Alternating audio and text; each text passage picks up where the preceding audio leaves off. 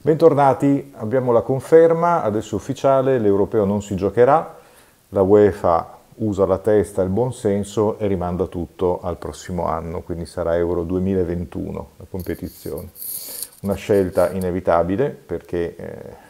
si sono resi conto di non poter permettere il transito, a parte il fatto che adesso sono chiuse tutte le frontiere, quindi anche la mobilità sarebbe eh, potrebbe essere complicata a quel punto, ma naturalmente ci auguriamo tutti che a giugno non ci sia più questa situazione, poi da capire da un punto di vista politico che cosa succederà, visto che, eh, ripeto, la situazione adesso è di frontiere chiuse e chissà che qualcuno non ne approfitti per tenerle anche dopo, staremo a vedere. In ogni caso, eh,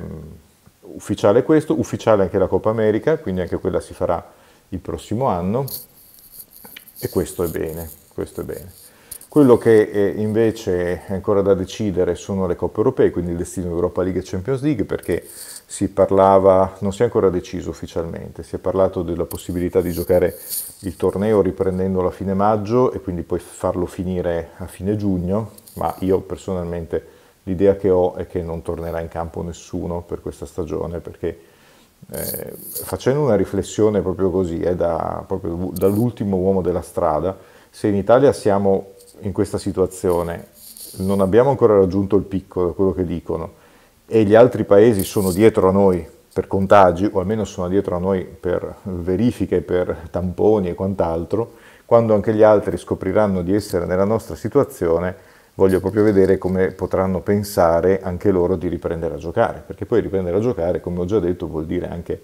eh, la preparazione, vuol dire rimettere in moto tutto, non è semplicemente riprendiamo a giocare e eh, ci troviamo domenica e facciamo la partita, cioè sono squadre professionistiche che hanno bisogno dei tempi per rimettersi in moto. Oltre a questo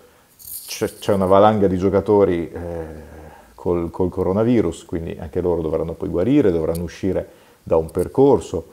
eh, e quanti ne verranno fuori. Guardate il Valencia, eh, Valencia mezza squadra col, col, coronavirus e hanno affrontato l'Atalanta, fra l'altro 15 giorni fa, per cui anche lì poi verrà fuori anche loro, perché è, è inevitabile che anche la squadra di Bergamo si sia presa eh, questa porcheria e quindi veramente, siccome maggio poi è dietro l'angolo, perché il tempo qui passa veloce e le settimane corrono, ripeto, non capisco come possano pensare di riprendere a giocare a fine maggio. Tra l'altro il tutto rende ancora più assurda l'idea della FIGC che eh, ancora non sa che cosa fare, non sa se si potrà riprendere, il limite è il 9 maggio perché se no no, secondo me è tutto finito, è tutto finito e ripeto, come fai a pensare che al 9 maggio si possa tornare in campo? Come fai a pensarlo? io non lo so veramente. Ehm, per poi finire la stagione a fine giugno, per arrivare proprio all'ultimo secondo, perché poi dopo il 30 giugno scadono i contratti, c'è tutto quel casino, allora io dico, soluzione di buon senso, pensa a trovare la quadra per quel che riguarda retrocessioni e promozioni, senza andare a farmi campionati a 22 squadre, perché lasciamo perdere queste follie, no? ci mancherebbe solo una Serie A 22 squadre per giocare 300 partite e, e, e metà inutili. Ecco. Facciamo che troviamo una soluzione per le squadre che, stanno, che, stavano venendo su dalla Serie B e quelle che stavano andando giù dalla Serie A e poi dalla C alla B, eccetera. Insomma, trova, trova il modo eh, di, non lo so, mettiti d'accordo, fai qualcosa, vedi se magari a giugno potrei fare dei playoff, magari due partite invece di no, come i, play, playoff di Serie B che giocano anche di 20 partite, così. Quindi fai questa cosa qui e trova una soluzione. Il resto lo metti da parte, lo scudetto non lo assegni, le posizioni UEFA e Champions League prendi quelle che ci sono e, e basta. E basta, cioè questo è, questo è. Poi dopo eh, il grosso problema sarà naturalmente il lato economico perché i diritti tv, le sponsorizzazioni, tutte queste cose qui eh, rischiano davvero di, essere, di creare un patatrack nelle squadre di calcio. Oh, tra l'altro c'era un articolo eh, che ho letto ieri relativo proprio a quello che vi dicevo l'altro giorno, cioè il fatto che eh, dietro agli 11 che vediamo scendere in campo c'è un movimento di persone che lavorano e che sono dei lavoratori normali come tutti noi e che quindi rischiano eh, il posto se le cose dovessero andare molto molto male. Speriamo di no, ovviamente. E questo è quanto. Eh, credo, che,